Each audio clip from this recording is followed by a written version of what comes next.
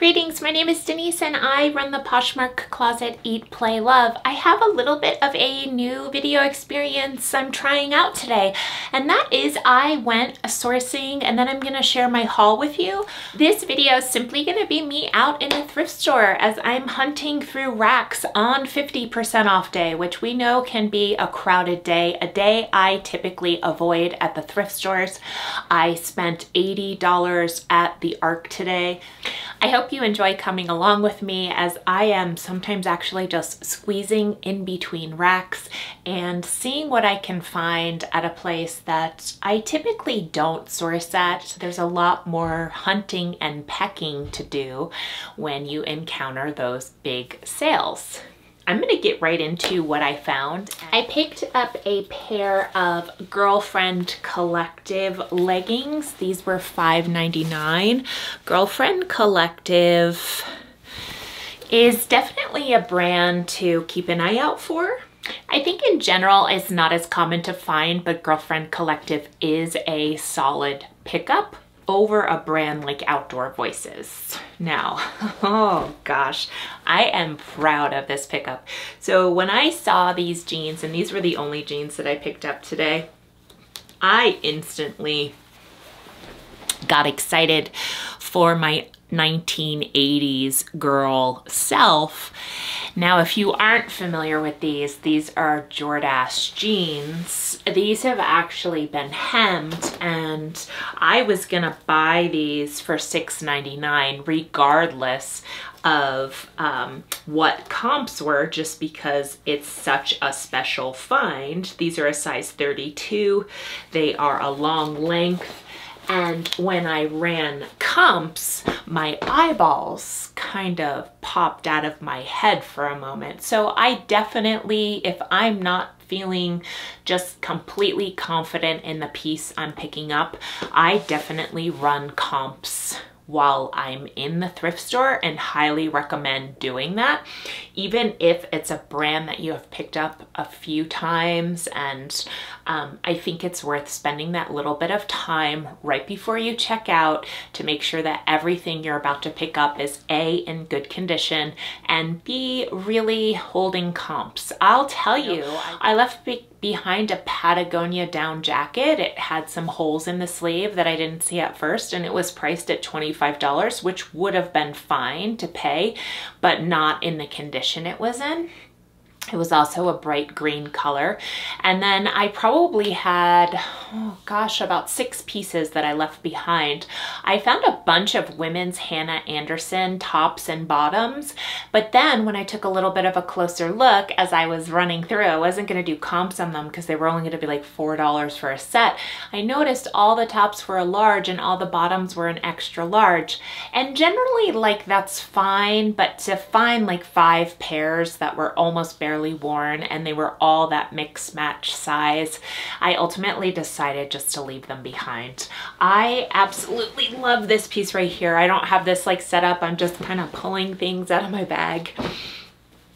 This is so pretty. So it's 80% wool and it's 20% cashmere and this was 50% off. So this was $5.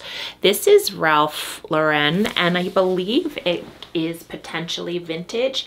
It feels like it's like a shawl cape, but there's sleeves tucked in back here. It's a cable knit. It's very, very soft. When I go into the thrift store, and you know there's long long racks of sweaters sometimes I'm in the mood to look at every single one, but if I really just kind of want to focus my attention, I skip over colors like reds and hmm, a lot of browns.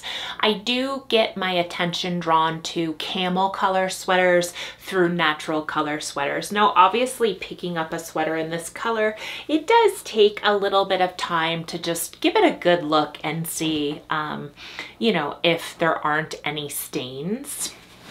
If I get these under my ring lights when I'm taking photos and determine that there's holes or extra stains that I wasn't aware of, these are returnable.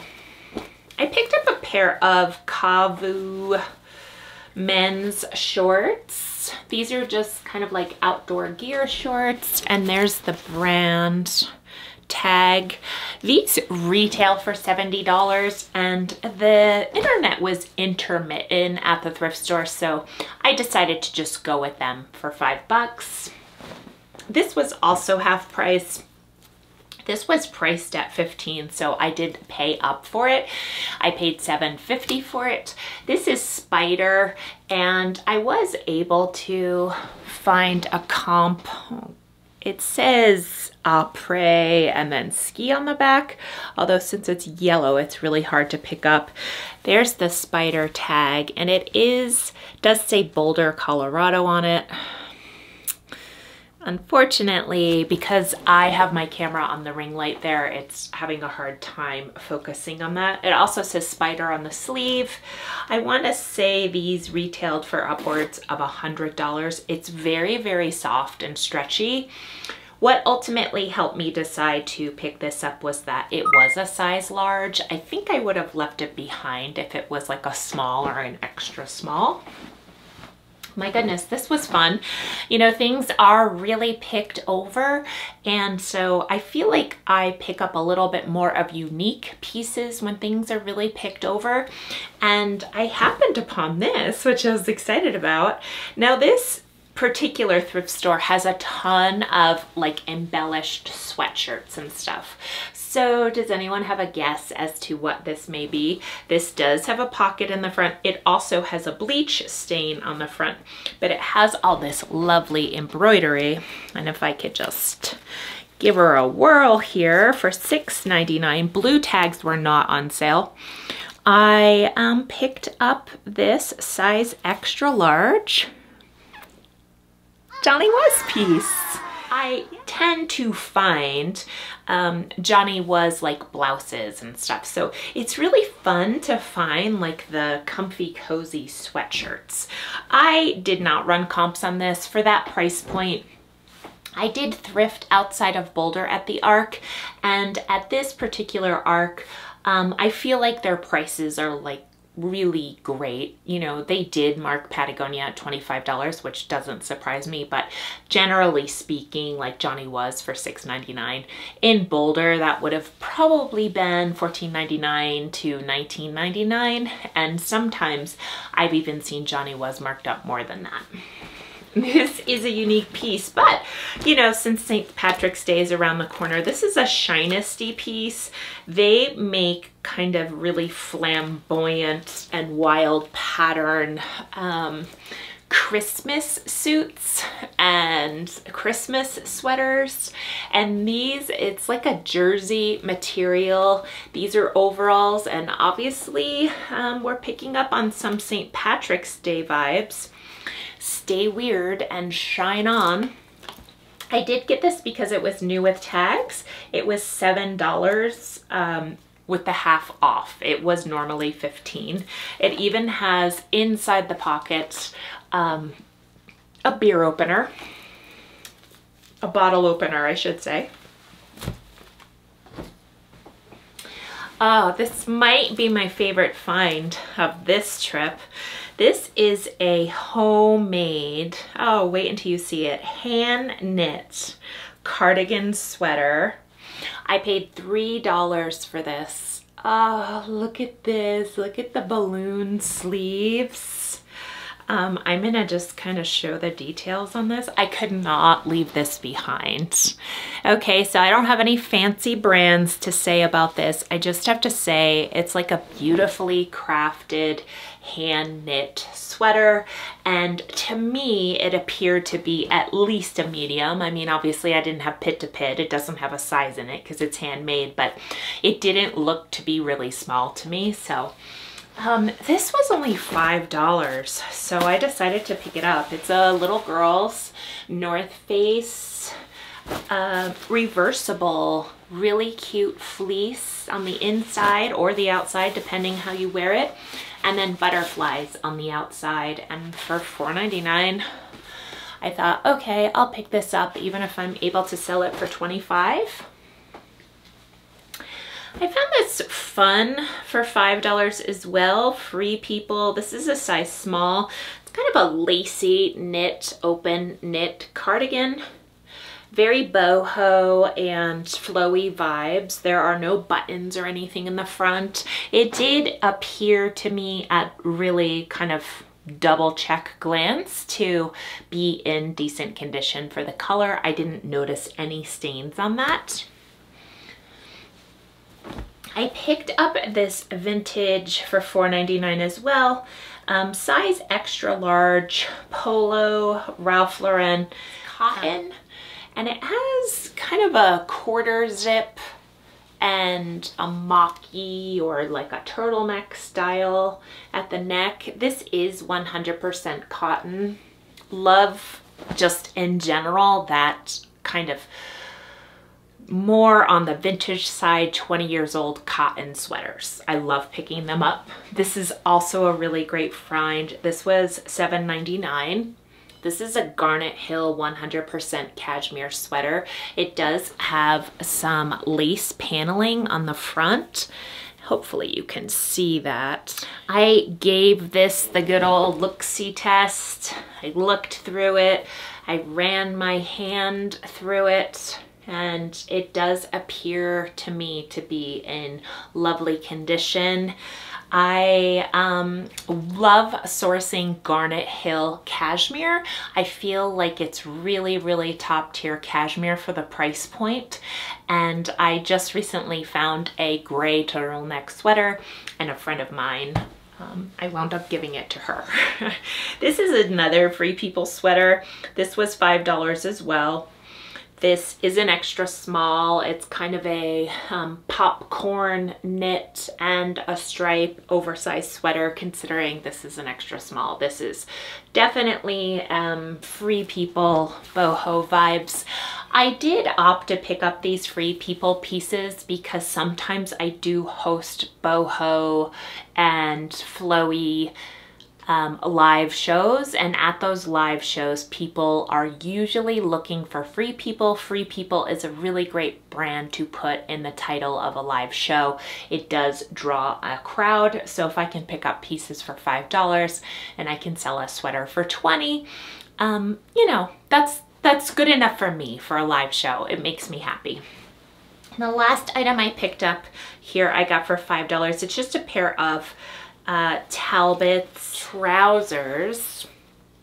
So um, my daughter was at an FBLA competition today, the Future Business Leaders of America. She had a presentation. She actually made it to States and she wore a blue blazer and a dress under it and we decided I would try to pick her up a pair of navy blue um, pants, dress pants, and these were half price, so I picked them up for her.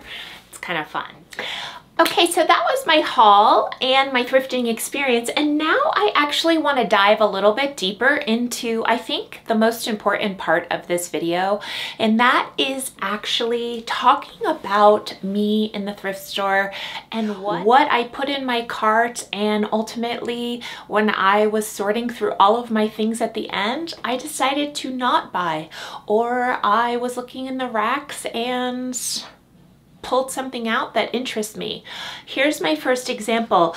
I was going through the racks. They were the women's new racks and nothing really was catching my attention. And then finally I came across an Anthropologie fleece piece and I pulled it out. It was the by Anthropologie really current label. So it excited me. It was a 2X. It had zip pockets in the front. It was very free people vibes. And, um, you know, I looked at it, I looked at it and I didn't love the color. So for me, it had the brand, it had the condition, and it had the size. But when I was weighing things out, like should I or shouldn't I, it really just, the color is what sealed the deal for me. I felt like it was going to become one of those pieces that sat in my closet simply because of the color.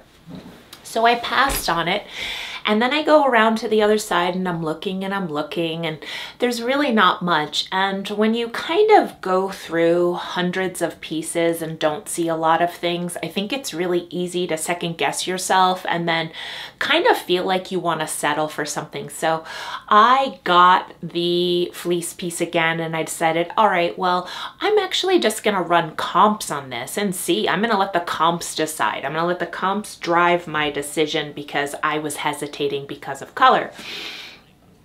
So I run the comps. The first thing that comes up was Anthro pullover sold for $30 on Poshmark and I want to say it was actually marked up there. I think it was $12 and it wasn't a 50% off item. So immediately that was a no for me. I mean, I didn't really have to think about it. I was just like, nope, putting that back.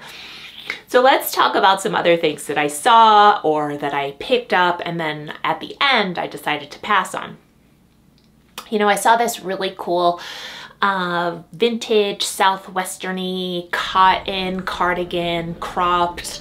It looked like it was from the 90s to me. It was really cute. I did a quick pass through like when I was picking it up off the rack at first. I always kind of do that quick glance and then I'll do a deeper dive towards, you know, when I'm looking through all the pieces in my cart.